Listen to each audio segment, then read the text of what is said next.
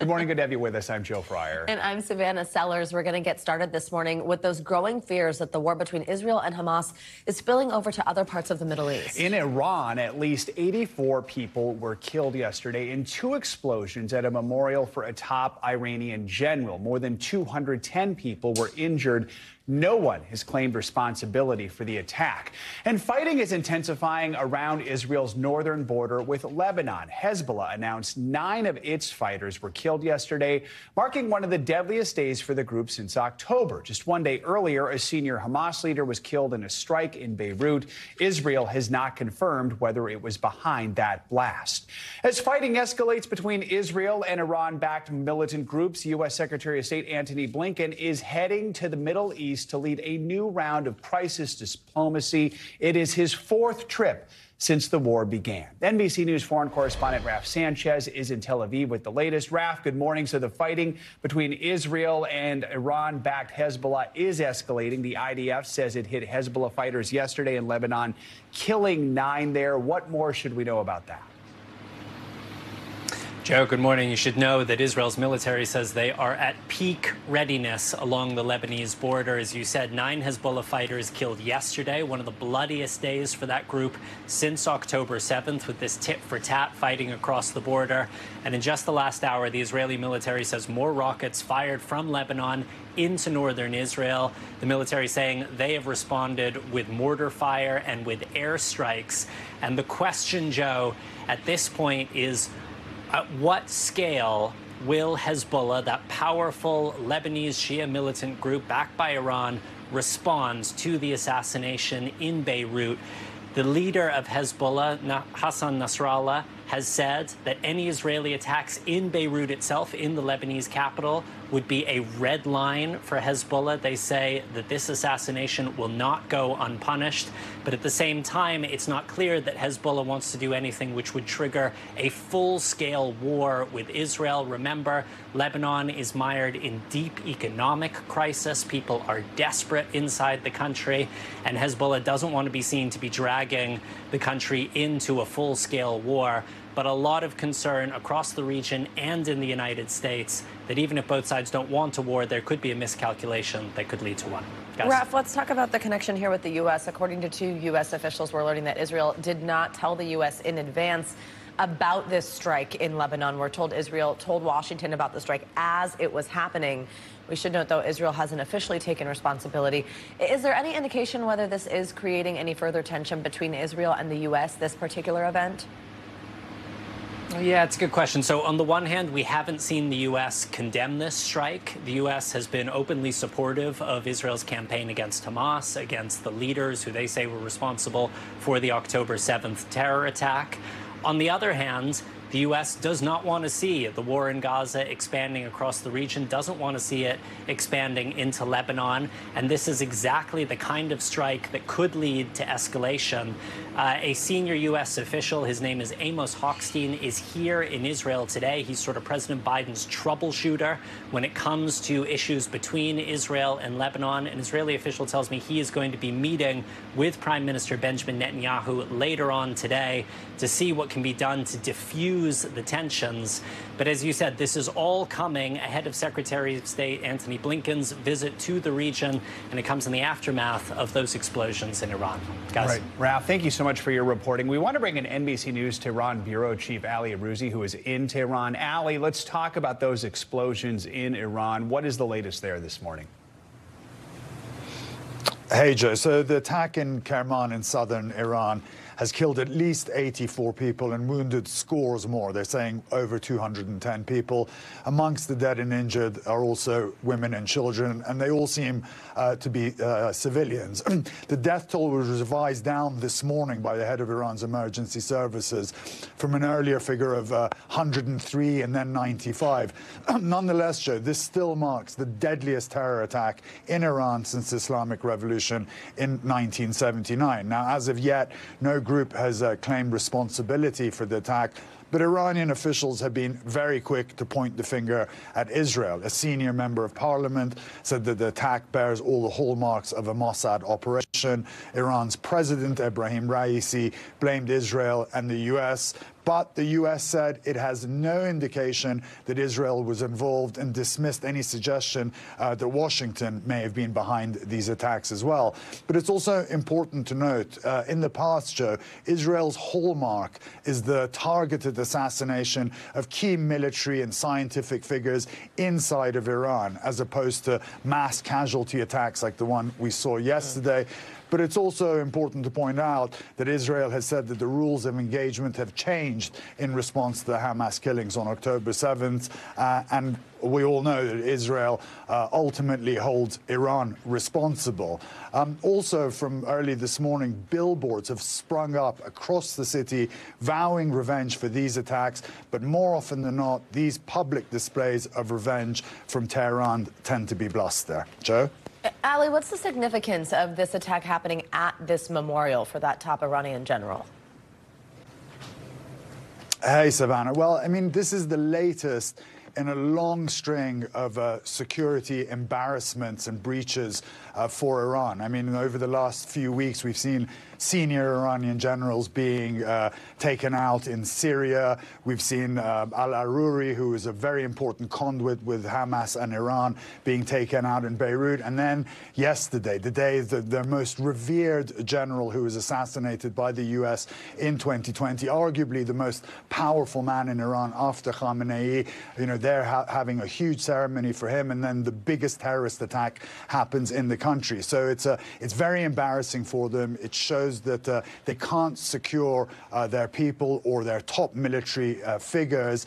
Uh, and that's why you're seeing them up in arms right now, talking about revenge. And this won't go, you know, unsettled and blaming the U.S. and, and Israel. But uh, the reality is Iran is probably not going to get involved directly itself. The price will be too high for them. And we'll probably see an uptick in attacks by proxies in the Levant or the Red Sea. But beyond that, it's unlikely that there's going to be some massive escalation and retribution from Iran. Savannah? All right. Ali Arouzi, as always, thank you so much for your reporting. Thanks, Ali. Hagar Chemali joins us now for a closer look at what's at stake here. She's the host of Oh My World on YouTube, a former spokesperson for the U.S. mission to the UN and former NSC director for Syria and Lebanon. Hagar, always great to have you with us. So, what do you make of all this, specifically these two events, this blast we saw, these twin blasts in Iran, and the killing of this Hamas leader in Lebanon? Are we closer to the brink of a regional war? No, you know, one of the things that I always say in the Middle East is that when the storms gather in the Middle East, it storms everywhere sorry, when the clouds gather in the Middle East, it storms everywhere. And the reason for that is that when you've got instability, then you have these proxy groups, these Iran backed militant groups, and other terrorist organizations take advantage of that instability to provoke trouble, um, to try and push U.S. presence out, to try and and and cause massive fatalities. And that was the first thing I thought when I saw the blast that happened in Iran yesterday. My first thought was that this has all the markings of an ISIS attack. And the reason is because ISIS, when it pursued, first of all, ISIS has pursued num- a number of attacks in Iran before. Uh, when they're pursuing something, when talking about targeting a mass group of civilians, a gathering of civilians like that, uh, who were co- who were there commemorating the the death of of former IRGC General Qasem Soleimani, that that's something that ISIS would do. That is the t- same typical attack they pursue in Afghanistan, where when they have a wedding or a funeral or some kind of gathering of civilians, they do a terrorist attack. It doesn't at all have the markings of a state actor, or certainly not Israel, which would pursue, if they're going to pursue something in Iran, it would be against a an expert of some kind, an official, a, a somebody that poses a direct threat to them, not a group of civilians in this way. And so that's the first thing I would say there. On Beirut, Oh, uh, this was a specific targeted counterterrorism operation to target and kill a Hamas leader, a top Hamas leader who poses an active threat to Israel. And by the way, to the United States. He poses a massive threat to the national security interests of the United States and to the region in general. But it wasn't a message against Lebanon or a meant to be some kind of strike that targeted Beirut more broadly. It was specific to him. That doesn't mean Hezbollah is not going to respond. It will likely respond, and Israel's bracing itself for that for sure. But I still don't think that either of these events, all these events you're seeing, I don't see them sparking a wide full scale war unless a massive miscalculation happens, which could always happen when you're talking about the Middle East. So, Hagar, no one has claimed responsibility for the attack inside Iran, but it was somewhat sophisticated. You had a smaller blast meant to attract first responders, then a larger blast. Iran thinks Israel is behind it. Israel has not said it was. Is there anyone else who could be trying to send a message to Iran? Not really. I mean, not not with an attack like that. It really does have the markings of a terrorist organization. Um, and it, it, while it might seem sophisticated in how they there was a decoy if you will that is also a very classic move by terrorist organizations where they do something first they bring first responders so then they can atar- they can blow up everyone because the number one goal there is to maximize fatalities and casualties now I, of course, I'm going on here and I'm telling you it's ISIS and I'm speculating, and I want to be clear about that. But the fact that Iran itself, the Iranian government, hasn't said, oh, we know for sure that it's Israel, um, and that you've seen nobody comment on who it might be is because they don't know and because it is likely a terrorist organization. But in terms of a message to Iran, what you're seeing, and Ali had this right, uh, Iran knows not to provoke the United States in a war. You're going to, to see limited strikes by proxy groups and proportional responses in return. All right. Hagar Chemali, as always, thanks so much for joining us. Well, in Israel, a somewhat unexpected group is being brought into the fight. Some seminary students are training to go to war. NBC News foreign correspondent Josh Lederman has the story. From morning until evening, they study Torah at Yeshiva Chesder Yerucham in Israel's Negev desert, pausing in the afternoon to pray, including for Israeli troops fighting in Gaza. At this seminary for young men, eight students have already been killed in the Israel Hamas war. How is this yeshiva dealing with such profound loss? We're, we're never ready for something like this to happen. The vast majority of ultra Orthodox Jews do not serve in the IDF, but many modern Orthodox do.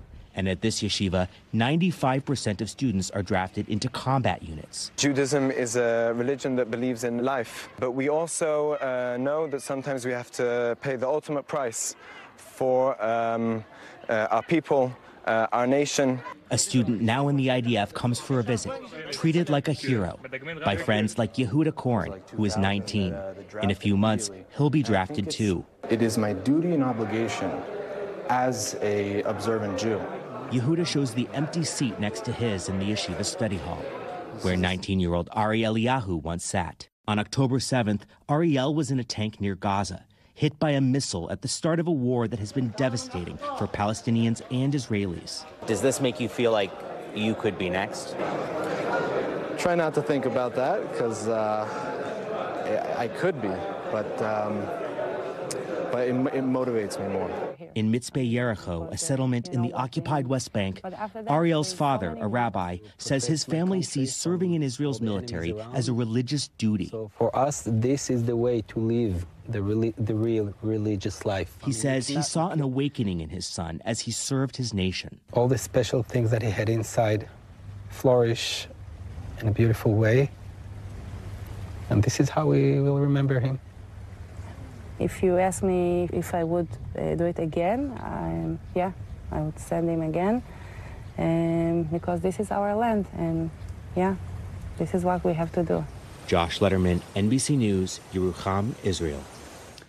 This morning, we are getting a look at the first batch of unsealed court documents related to the case of convicted sex offender Jeffrey Epstein. The highly anticipated trove of about 900 pages includes references to familiar names from politicians to celebrities, many of them previously linked to Epstein before his suicide in 2019. Former Presidents Bill Clinton and Donald Trump were mentioned in depositions, although neither contained allegations of wrongdoing. NBC News legal analyst, former prosecutor Kristen Gibbons Feden joins us now to talk more about this. Kristen, good to have you with us. So, first of all, just remind us what these documents actually are, why they're starting to be unsealed now. These are all court documents, so excerpts from testimony that was attached to any of the court filings. And the only reason these documents really didn't come out sooner is because initially back in 2017, there was a motion to unseal them. And it all stems from the 2015 um, lawsuit with Virginia Giuffre versus Maxwell, who was the associate and convicted of you know aiding and abetting the sex trafficking with Epstein. But the reason it really didn't come out sooner is because there was a lot of pushback from some of the individuals that were named in these lawsuits, um, basically saying, "Hey, I'm going to lose my reputation," or they'd be embarrassed. But essentially, what has happened through the appellate process and what has now come back down is that the courts have deemed that transparency is important with regard to the judicial process. And so the Miami Herald's motion, which was initially denied, was reversed and remanded. And that's where Judge Preska is now ordering the release of these court documents, which is what is these documents that we're seeing. So, this first batch that we just got, what stands out to you in them? So a lot of it was really already known, um, and that goes back to that judicial weighing of the interests of what should be kept secret and what should be revealed to the public through this judicial process. But I think one of the things that really stands out to me was that May 2016 deposition testimony from Johanna Sjoberg, which was one of Epstein's alleged victims, where she made these notable revelations about what Epstein once mentioned that Bill Clinton, he likes them young, referring to the girls. And the, also, there was an incident where she flew with Epstein and they stopped in New Jersey and he basically mentioned Trump and that he would stay at Trump's casino. And then the third thing was that Prince Andrews had inappropriately um, touched her. But again, as you mentioned earlier in this segment, these are all juxtaposed with statements that these high profile individuals were not aware of the wrongdoing and that they did not engage in this wrongdoing. But nevertheless, these revelations are important. Yeah, and I want to kind of recap here. President Clinton referring back to a statement in 2019 saying he knew nothing about the terrible crimes of Jeffrey Epstein, as you mentioned, not accused of wrongdoing. Trump saying he had a falling out with him a long time ago, not a fan of his, he said in the past, again, not accused of any wrongdoing. And Prince Andrew previously has strongly denied allegations, said he had no recollection of ever having met Giuffre. Now, some of the names in the documents are still redacted why yeah. is that? Could the judge decide to reveal them going forward?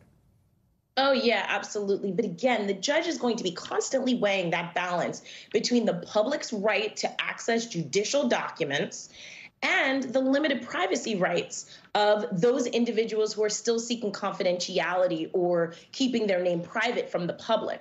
And a lot of them, um, the, the two main ones, are the are the victims, right? And so a lot of the mm-hmm. redactions mm-hmm. um, relate to minors or even the victims or even survivors really not wanting to come forward because they hadn't come forward in the past.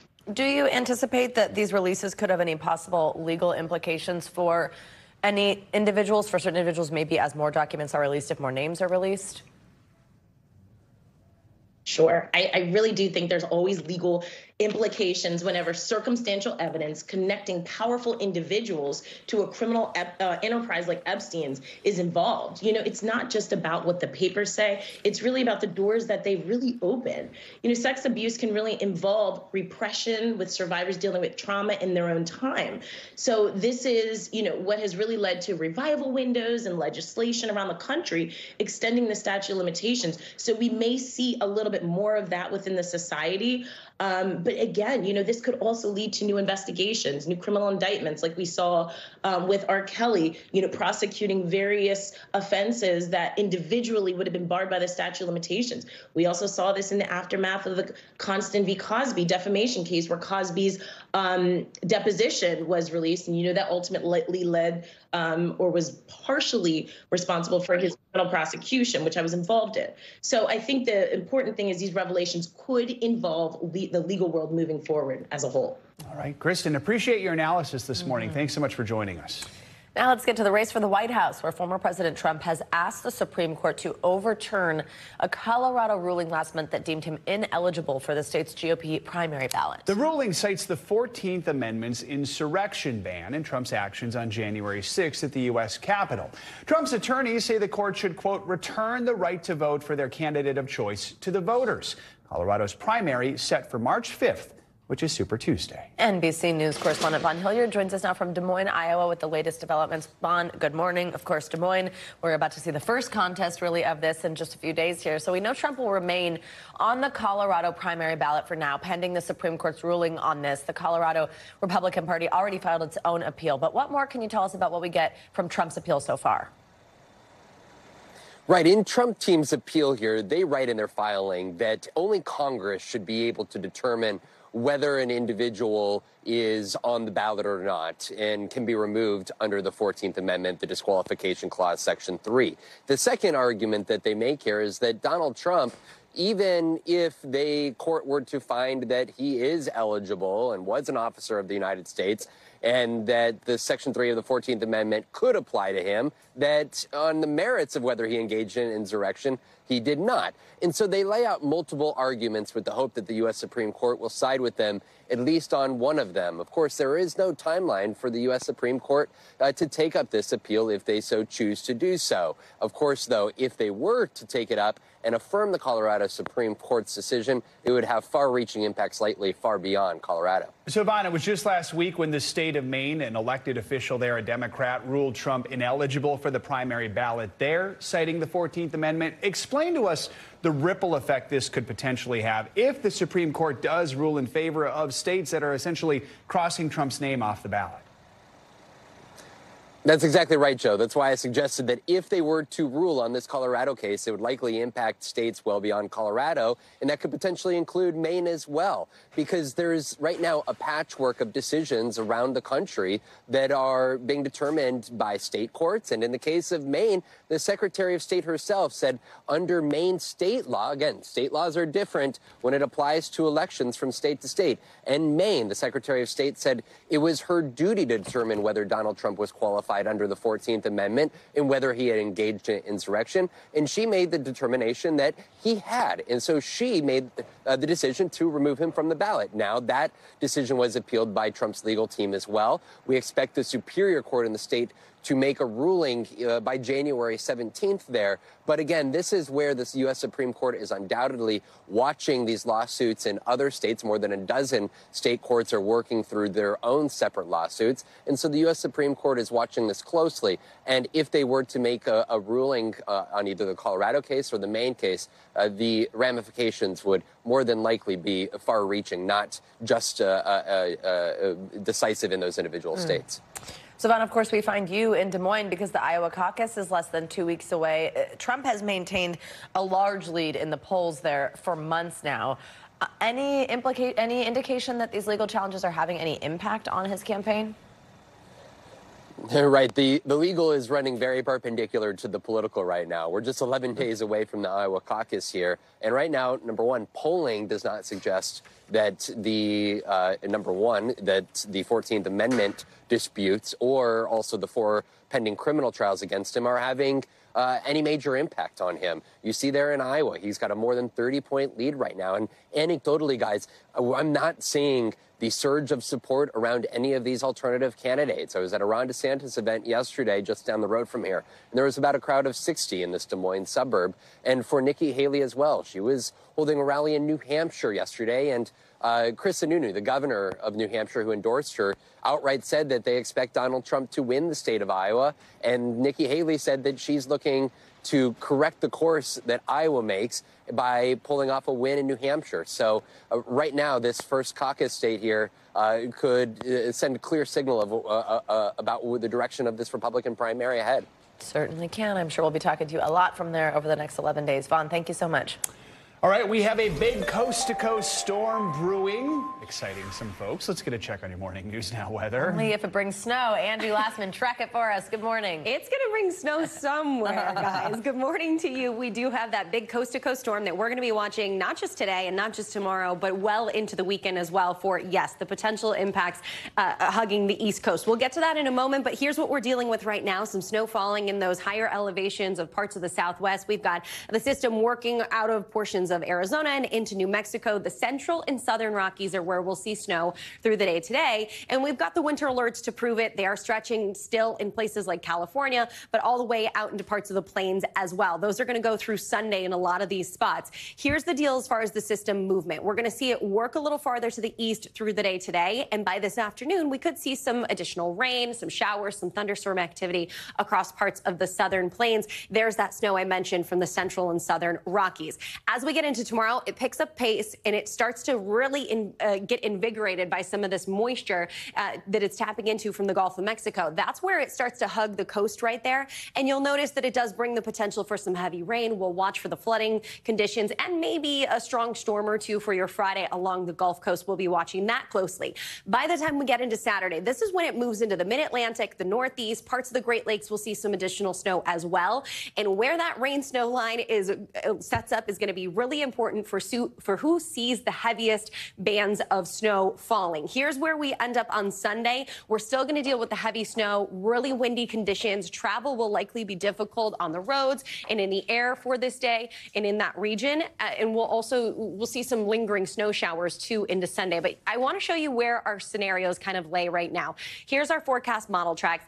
At 60 miles, I know it doesn't seem like a lot, but it really matters with where that heaviest band sets up. Those 60 miles are going to be key. If it takes the inside track or the northern track, we should say, uh, you'll see that heavier snow a little farther to the north and west. That means it does not in er, include places like New York, Philadelphia, Washington, D.C. for significant so snowfall. We might see a couple of flakes. You might see maybe an inch in some of those spots. Um, but if it takes that more southern track, then that's where we'll see the potential uh, for some of that snow to be a little closer to the coast. The problem with the northern track is you get all of that warmer air starting to hug the coast. So that means that the precipitation falls in the form of rain. So it's not like we're going to escape it completely. There will be some precipitation falling and interrupting your plans Saturday and Sunday, guys. Um, but whether it's the really significant snowfall for those major cities, it, it doesn't look that likely. Um, but places like Boston will likely see some some snow. And if you're looking for heavier snow, just you Just know, go west. head up Savannah, head west. Savannah's wondering if we can vote on which track. Yeah, yeah, yeah. Oh, if true. only Do we it have, worked Not the do northern we have a voice in this? I'll give you a voice in anything, guys. I'll do my best. Thanks, Angie. Thanks for watching. Stay updated about breaking news and top stories on the NBC News app or follow us on social media.